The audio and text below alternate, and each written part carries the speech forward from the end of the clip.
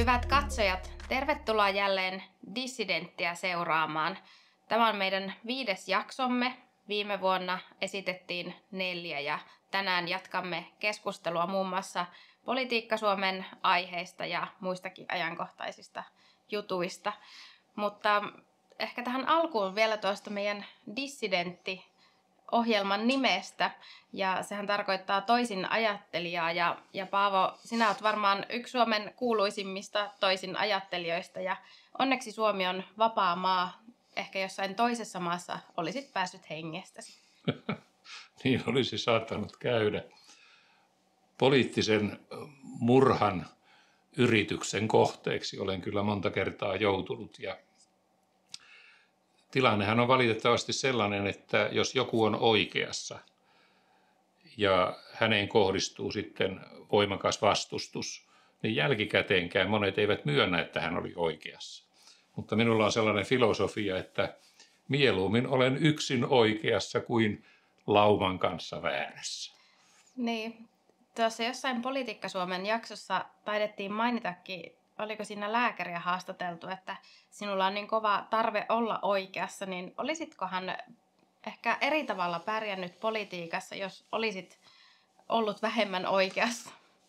Niin, on erilaisia poliitikkotyyppejä. On sellaisia lullukoita, jotka menevät ja lauman mukana ja yrittävät olla aina kaikkien kanssa samaa mieltä ja hyvissä väleissä.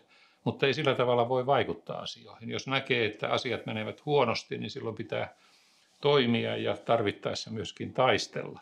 Mutta olethan sinäkin dissidentti. Nuorena ihmisenä et ole suinkaan omaksunut kaikkia hullutuksia, mitä nuorten keskuudessa on liikkunut, vaan olet perehtynyt asiaan ja toiminut itsenäisesti. Niin, joku sanoo hankalaksi ja joku sanoo periksi antamattomaksi, että, hmm. että tuota, se on se linja, millä on, on oltu tähänkin asti. No, me soimme sitten hyvin yhteen tätä ohjelmaa tekemään. niin, nimenomaan, juuri näin. No, kuule, tänään me keskustelemme EUsta ja sinullahan on ollut mielenkiintoinen suhde Euroopan unioniin. Olet toisaalta vastustanut hanakasti sitä, mutta sitten olet myös ollut siellä Euroopan parlamentissa töissä. Niin, minä olen koko urani ajan, näin voi sanoa, ensimmäisestä julkaisemastani kirjasta lähtien. Se oli Köyhän asialla, joka ilmestyi vuonna 1971.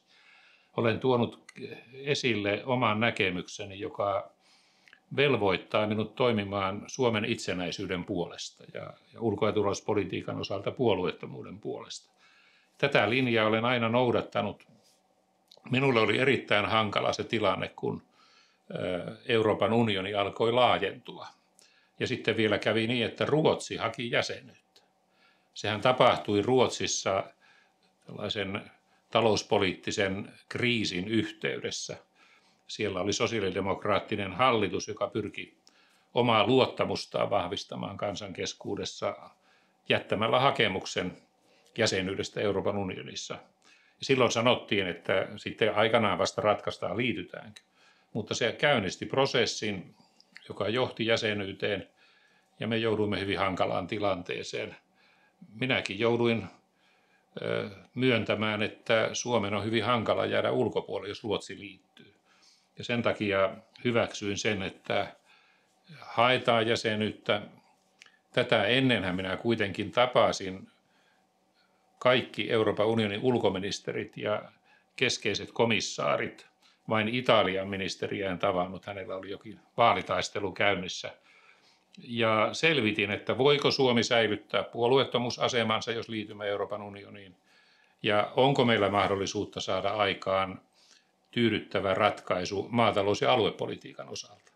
Ja kun näihin sain myönteisen vastauksen, niin hyväksyin jäsenyyden hakemisen, mutta silloin keskustan omassa päätöksenteossa pantiin tiukkoja reunaehtoja jäsenyyden hyväksymiselle ja myöhemmin nämä reunaehdot johtivat siihen, että en kuitenkaan hyväksynyt jäsenyyttä.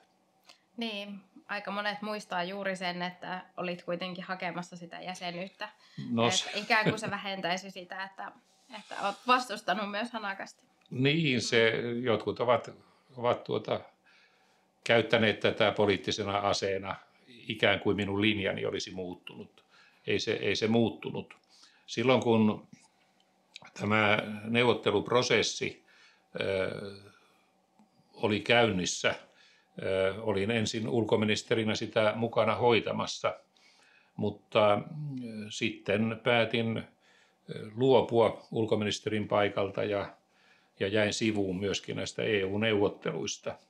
Ja siitähän syntyi sitten aikamoinen, aikamoinen keskustelu ja, ja taistelu, joka myöskin tässä, tässä Politiikka Suomen jaksossa hyvin vahvasti on, on tullut esille. Niin, tuota, ainakin siinä haastatellaan Esa Härmälää ja, ja hän siinä taitaa jotenkin näin todeta, että silloin päätin, että Väyrynen ei ole minun mies. Eikö se näin ollut? Ja, ja tuota, mikä siinä oikein, oliko teillä välit huonontunut vai kokiko hän, hän tuota, loukkaavana sen, että lähdit pois, pois tuota, neuvotteluista ja ulkoministerin paikalta? Ja, tai mikä siinä oli taustalla?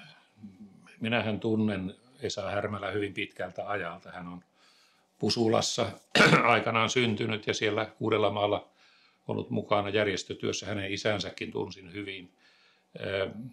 Esahan oli hyvin keskeisissä tehtävissä uransa varrella. Meillä oli aina hyvä yhteistyö ja hyvät keskinäiset välit. Hänhän oli Esko Ahon avustajana, pääministerin avustajana – ja kun sitten nämä EU-neuvottelut alkoivat, niin hän tuli niitä ulkoministeriön puolelle vetämään. Hänen myöhempi uransahan sitten johti siihen, että hänestä tuli MTK puheenjohtaja ja, ja jopa Metsähallituksen pääjohtaja. Metsähallituksen pääjohtajan viran osalta kävi niin ikävästi, että Kimmo Tiilikainen ministerinä ei esittänyt hänelle jatkoaikaa. Minusta se oli väärä päätös ja on osoittautunut myöhemmin vääräksi päätökseksi. Mutta minulla on ollut aina Esan kanssa hyvät suhteet ja sen takia olin aika yllättynyt tästä kommentista. Olen paljon miettinyt, mitä se oikein tarkoittaa.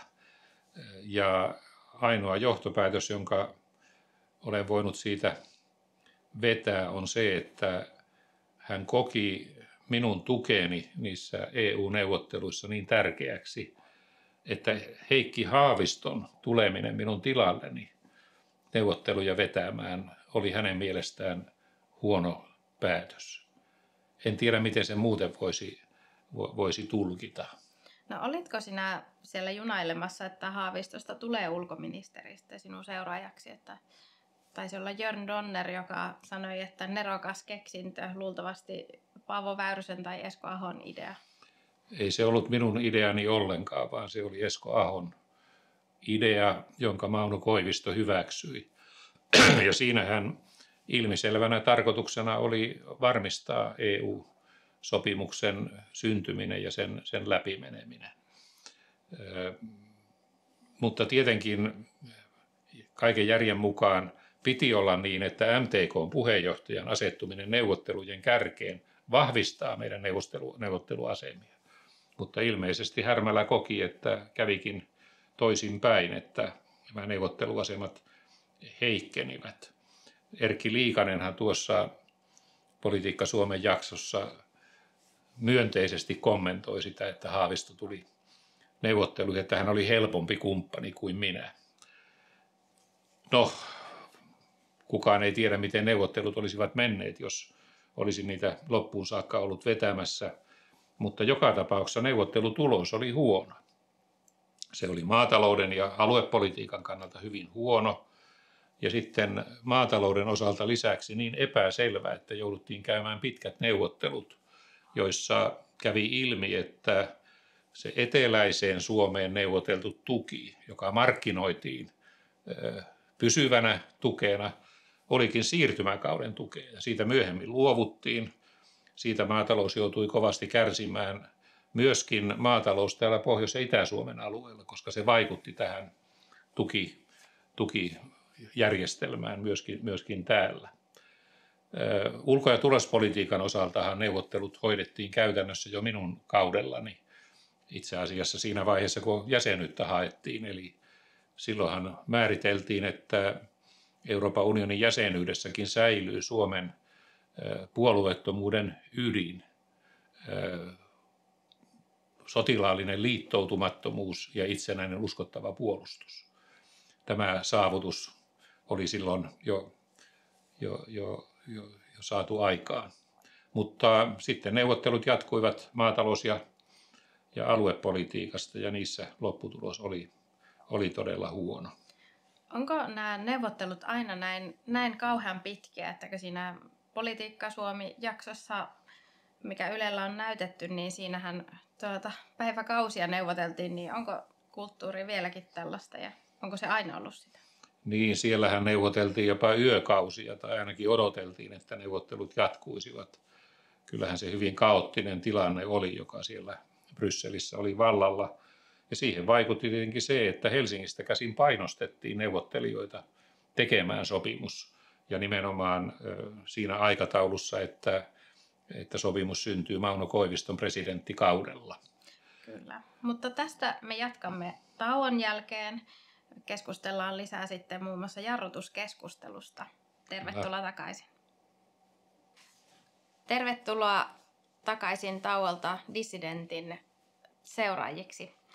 Tuossa ennen mainostaukoa keskustelimme Euroopan unionin jäsenyydestä ja keskustelimme oikeastaan Ylen Politiikka Suomen jaksosta yhdeksän. Ja sen nimi on Kun Suomi, miten se menikään? Kun Suomi livahti, livahti länteen. Livahti länteen, näin se oli. Ja oikeastaan semmoinen kysymys, että eikö me silloin oltu vielä selkeästi länsimaa? Totta kai. Voidaan sanoa, että Suomi on aina ollut länsimaa. Myöskin silloin, kun me kuulumme Venäjään, niin Suomessahan säilyi Ruotsin lait ja, ja, ja, ja länsimainen kulttuuri siinä mielessä. Tämä oli sitä kielenkäyttöä, jota käytettiin silloin vuonna 1994, kun oli tämä kansanäänestys ja päätettiin jäsenyydestä. Sen jälkeen hän Unto Hämäläinen kirjoitti tämmöisen kirjan, Lännettymisen lyhyt historia. Siinäkin on lännettymissana. Minä muuten sitten heti perään kirjoitin kirjan Itsenäisen Suomen puolesta, jossa aika paljon kommentoin tätä Unto Hämäläisen kirjaa. Niin. Kyllä siinä Politiikka Suomen jaksossa hyvin selvästi kävi ilmi, että, että monet kannattivat jäsenyyttä sen takia, että haluttiin etäisyyttä Venäjään, turvaa Venäjästä. Siinä oli tällainen ulko- ja turvallisuuspoliittinen valinta, jossa niin kuin tahallaan myöskin ihmisiä johdettiin harhaan. Monet päättäjät eivät silloin ollenkaan ottaneet huomioon sitä, että Suomi oli ollut jo läntisessä yhdentymispolitiikassa mukana ja itse asiassa vuoden 1994 alusta astui voimaan sopimus Euroopan talousalueesta. Ja tämän ansiosta me olimme jo Euroopan unionin sisämarkkinoilla siinä vaiheessa, kun tätä EU-jäsenyyttä käsiteltiin kansanäänestyksessä ja, ja, ja eduskunnassa. Tämä neuvottelutilanne minusta hyvin selvästi kyllä osoittaa sen, että monilla neuvottelijoilla, mukana olijoilla oli kysymys siitä, että, että, että Suomesta pitää tulla nyt niin kuin aito länsimaa ja, ja vain Euroopan unionin jäsenenä se olisi mahdollista. Mutta tietysti oli niin, että kun me olimme jo sisämarkkinoilla, niin me olisimme voineet Euroopan talousalueen puitteisiin muodostaa Pohjolan yhteisön. Ja tämä Pohjola olisi ollut meille oikea viiteryhmä ja paras ö, kumppani meidän asioittemme hoitamiseen. No tuosta jakson nimestä vielä, että kun siinä puhutaan livahtamisesta, niin se kuulostaa jotenkin salamyhkäiseltä, niin, niin oliko siinä jotakin sala, salamyhkäistä ja, ja tuota, hämärää ja vai viittaako se suhteessa sitten itänaapuriin? Sillä tavallahan se markkinoidaan, että, että kun Neuvostoliitto hajosi, niin se synnytti tilanteen, jossa avautui mahdollisuus Euroopan unionin jäsenyyteen. Mutta eihän se siinä mielessä ollut livahtamista, että se muutos itänaapurissa oli pysyvä. Ja syntyi tämä mahdollisuus, että saatettiin liittyä Euroopan Euroopan unioniin. No, mitä siinä sitten tapahtui, että olit mukana niissä jäsenyysneuvotteluissa ja, ja tuota, kannatit sitä, sitä prosessia, mutta sitten jotakin tapahtui ja aloit vastustamaan aika jyrkästikin. Niin, se mikä tapahtui oli se, että, että neuvottelutulos sa, saatiin selville. Neuvottelut päättyivät ja kävi ilmi, että sopimus on huono. Ja sitten mikä on vielä olennaisempaa on se, että siihen aikaan paitsi Norjassa, niin myöskin Ruotsissa kansalaisten enemmistö vastusti oman maansa jäsenyyttä. Eli näytti selvältä, että jos Suomi ei liity unioniin, niin nämä muut Pohjoismaatkaan eivät liity. Ja silloin me olisimme juuri voineet muodostaa tätä, tätä Pohjolan yhteisöä.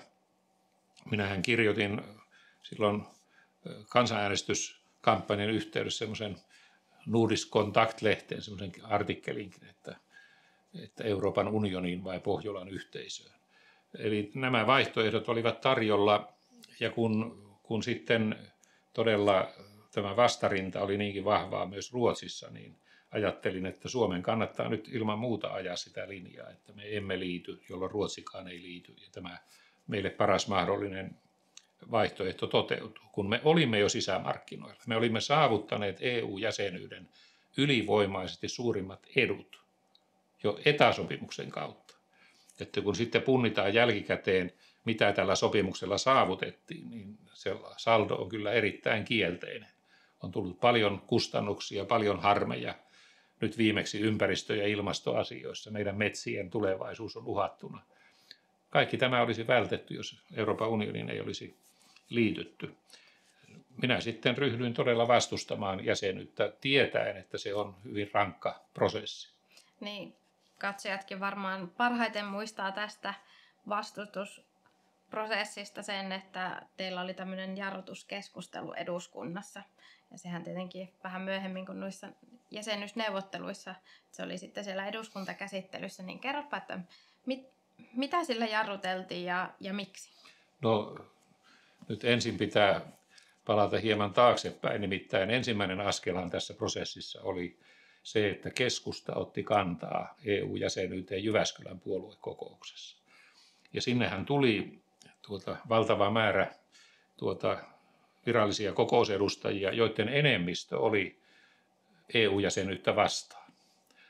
Siellä äänestettiin, Risto Volanen ehdotti, että tämä sopimus hylätään – ja puolueen johto, Esko Aho ja muut, äh, esittivät, että se viedään kansanäänestykseen. No tiedettiin, että kansanäänestyksessä enemmistö tulee sen hyväksymään. Ja sen takia tosiasiassa siellä Jyväskylässä tämä asia jo ratkesi. Siellähän minä käytin ehkä elämäni parhaimman puheenvuoron ja myöskin ennustin, että jos Suomi viedään keskustan johdolla Euroopan unioniin, niin me häviämme seuraavan kevään eduskuntavaalit ja tulee sinipunahallitus, joka hoitaa sitten sopeutuksen ja myöskin leikkaa maataloustukia. Ja juuri näin kaikki tapahtui. Mutta Esko Ahohan uhkasi erota puheenjohtajan paikalta ja pääministerin tehtävästä, eh, ellei tätä esitystä kansanäänestyksen toteuttamisesta hyväksytä. Ja niin sitten tähän kansanäänestys prosessiin mentiin. Siellä Jyväskylässä oli tunnelmat korkealla ja, ja, ja siellä, kuten sanoin, niin ennen kokousta enemmistö oli hylkäämisen kannalla, mutta siellä painostettiin ja taivuteltiin porukka tälle kannalla. Hyvin erikoinen oli Heikki Haaviston rooli. Hänhän oli siellä kokouspaikalla. Hän käytti hyvin tulkinnanvaraisen puheenvuoron sen suhteen, miten pitäisi äänestää – mutta sitten penkkivalistuksessa hän rohkaisi ihmisiä äänestämään jäsenyyttä vastaan sen puolesta, että sopimus hylättäisiin.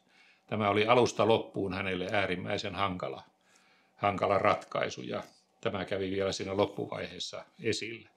Sitten hän muodostettiin keskustan puitteisiin oma kampanja Vastuu Suomesta niminen yhdistys perustettiin ja Kari Hokkanen ryhtyi sitä johtamaan. Olitko sinäkin siinä matkassa Minä olin siinä perustamassa? hyvin keskeisesti, keskeisesti mukana ja, ja, ja kaikessa kampanjoinnissa siinä Politiikka Suomen ohjelmassakin kerrotaan, että olin tässä, tässä kansanäänestyskampanjassa keskeisessä asemassa ja, ja sen jälkeen myöskin eduskuntakäsittelyssä, johon jo, johon jo äsken viittasit. Mutta tämän jäsenyysratkaisun kannalta merkitin, mer, merkittävin asia oli se, oli se keskustan puoluekokous, jossa tämä asia keskustan osalta ratkaistiin. Sitten myöhemmin tietenkin on, on asiasta väitelty, että mikä oli oikein, mikä on väärin. Minä olen sitä mieltä, että, että siinä puolueen johto toimi väärin ja Suomen etujen vastaisesti ja näin, että myöhemmin myöhemmät tapahtumat ovat tämän, tämän todistaneet. Mutta se on asia, josta me käsittelemme, jota me käsittelemme vasta seuraavalla jaksolla. Uskon, että katsojat ovat aika tarkkaan aikanaan seuranneet näitä tapahtumia ja eläneet niissä mukana. Se kampanja kosketti hyvin laajasti suomalaisia. Se oli valitettavasti äärimmäisen yksipuolinen. Siinä esimerkiksi valtalehdistö oli täysin yksipuolinen niin, että jopa siinä kansanäänestyskampanjan yhteydessä nämä johtavat sanomalehdet pääsivullaan, etusivullaan julkaisivat ilmoitukset, joissa vedottiin siitä, siihen, että tämä jäsenyys pitäisi hyväksyä ja, ja kansanäänestyksessä pitäisi sitä tukea. Kyllä, ja aika repivääkin se taisi olla sitten se, se tuota, vastustajat ja kannattajat ja se keskustelu ylipäänsä. Että... Kyllä, kyllä se oli ja se jätti syviä, syviä haavoja. Keskustasta monet erosivat silloin. Puolueen sisälle tämä asia jäi jäytämään. Seuraava vaihehan oli sitten liittyminen tähän euroalueeseen ja siinä tuli tavallaan sitten hyvitystä niille, jotka olivat Euroopan unionin jäsenyyttä vastustaneet, koska siinä sitten puolue lopulta asettu sille kannalle, että euroon ei olisi pitänyt liittyä. Että se, se hyvitti jonkun verran tätä tappiota. Kyllä, mutta ei se varmaan mieltä kohentanut, koska sinne euroon kuitenkin liityttiin sitten. Kyllä. No niin, mutta viikon kuluttua käsittelemme sitten sitä jarrutuskeskustelua eduskunnassa ja myöskin jatkamme muutoin keskustelua tästä Suomen liittymisestä Euroopan unioniin. Ensi viikkoon.